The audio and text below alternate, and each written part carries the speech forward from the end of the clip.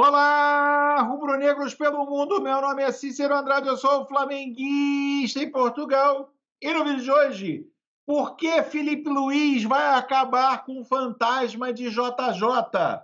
Marcos Braz fala sobre renovação de Gabi. De Gabi. Gabigol declara amor ao Mengão.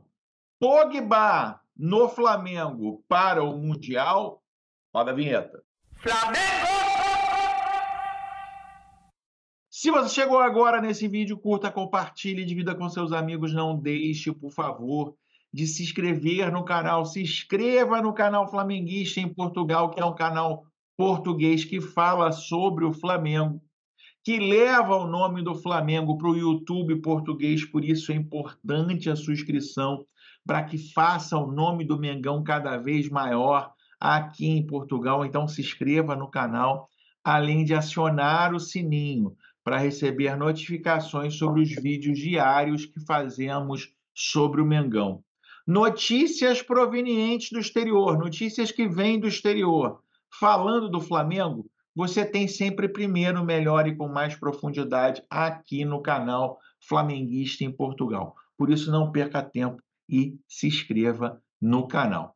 Vamos começar, meus amigos, falando aí da possibilidade aí de um jogador que estava suspenso, a sua suspensão acabou, né? A sua suspensão foi abreviada e aí ele se encontra numa situação onde teoricamente pode pintar aí em outros clubes. Eu estou falando do francês Pogba. É isso mesmo, meus amigos. Torcida do Flamengo pede a contratação do meia campeão do mundo por dupla com Gerson. É isso mesmo.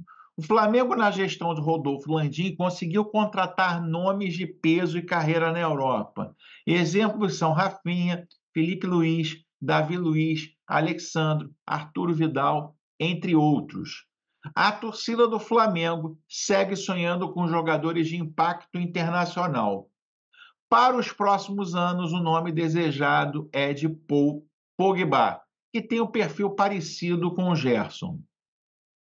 A nação acredita é, que, depois da suspensão do francês por doping ter caído de quatro anos para apenas 18 meses, ou seja, ele já está livre para jogar a partir do ano que vem, a torcida do Flamengo começa a pensar que pode vir a ser o nome para jogar. A Juventus de Turim já disse que não conta mais, não conta mais com o jogador. E alguns torcedores do Flamengo em redes sociais resolveram se manifestar.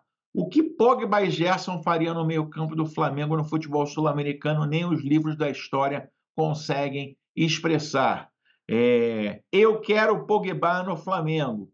Outras dessas apareceram também nas redes sociais, pedindo aí a vinda do Pogba para o rubro-negro. E você, meu amigo, você gostaria de ver o Pogba vestindo o manto sagrado rubro-negro? Escreva aqui nos comentários a sua participação, é muito importante. Eu vou falar sobre o jogo ainda, fica aqui comigo.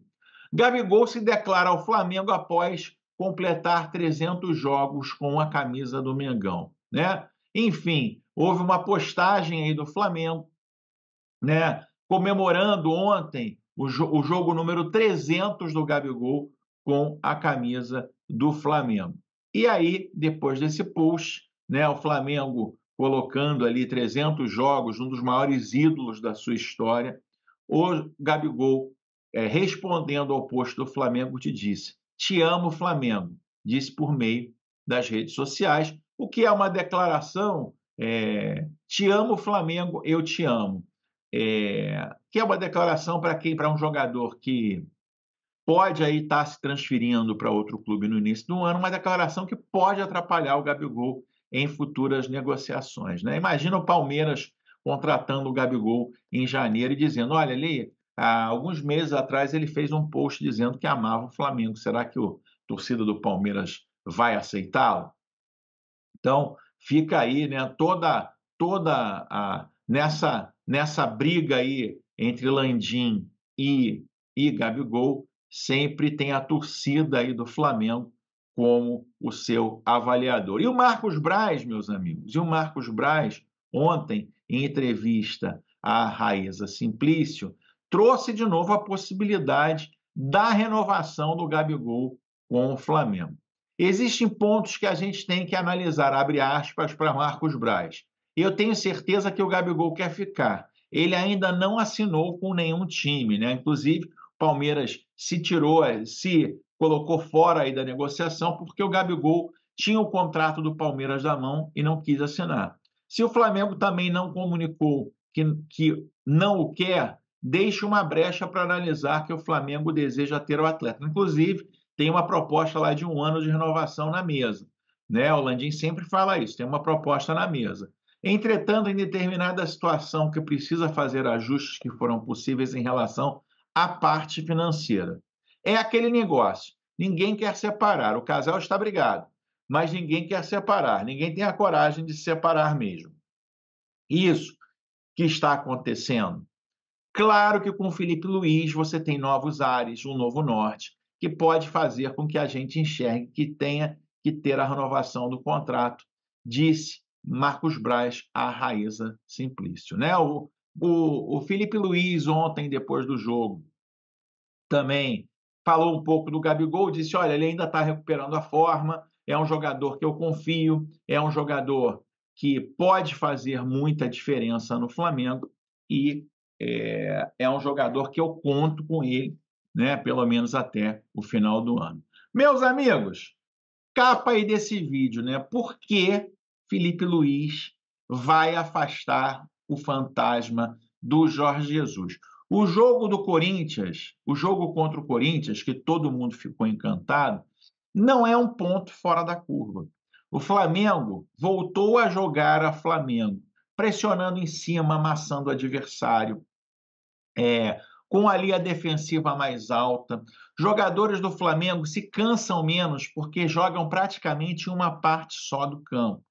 Torcedores do Flamengo ficam encantados porque existem inúmeras chances de gol criadas aí pelo time do Flamengo. E se você olhar para as estatísticas, né, foram 19 chances criadas contra o Corinthians, 13 contra o Bahia, né? mas a chance de gol só é computada aquela que é arrematada os gols.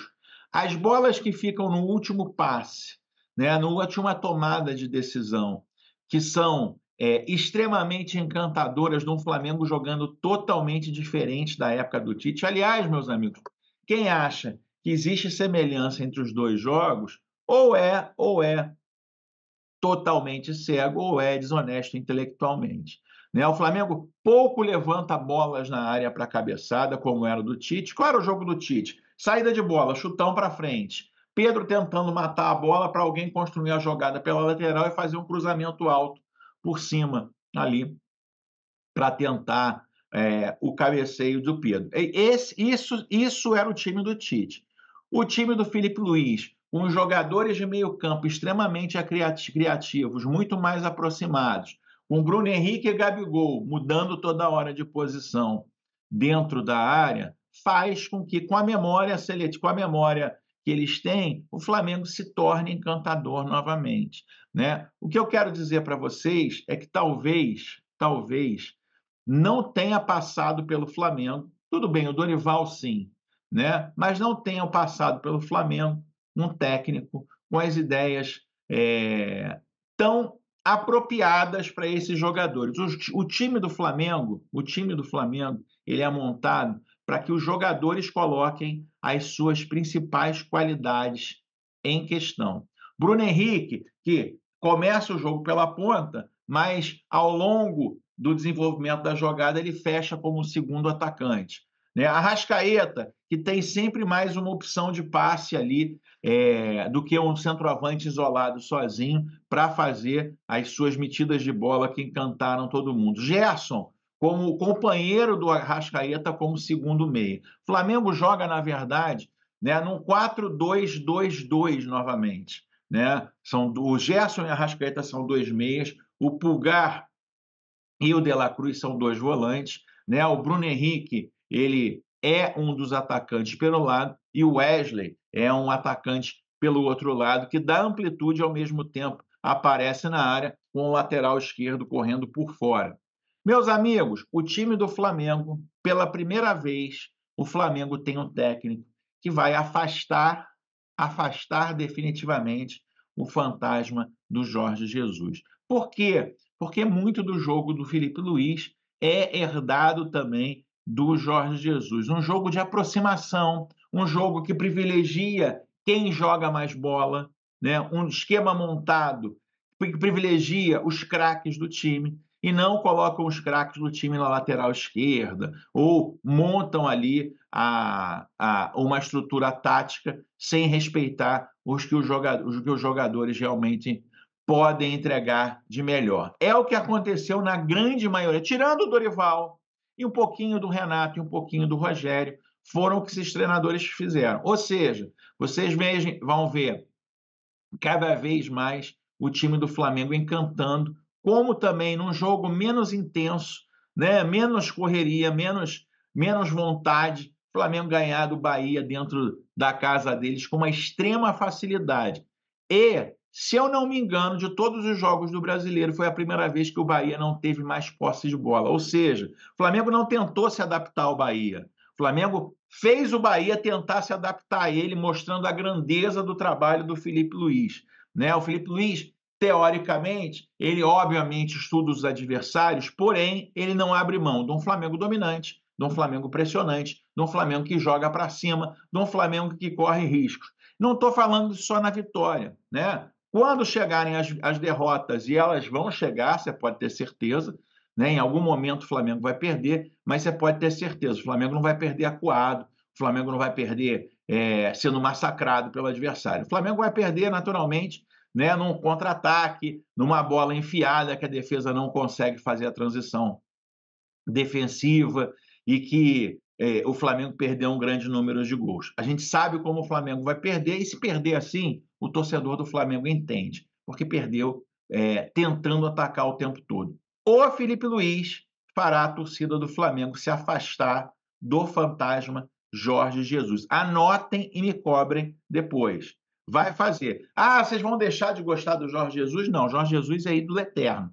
Né? Porém, o fantasma de ter Jorge Jesus como técnico acaba definitivamente com o Felipe Luiz, que será um dos melhores técnicos da história do Flamengo. Temos que aproveitá-lo, temos que aproveitá-lo, porque o Felipe Luiz fará a maior parte da sua carreira como treinador na Europa e não no Brasil. Então, temos que curtir muito, porque o Felipe Luiz realmente é um técnico revolucionário. Se você gostou desse vídeo, curta, compartilhe, divida com seus amigos, não deixe de se inscrever no canal. Vejo você no próximo vídeo. Aquele abraço. Tchau, tchau.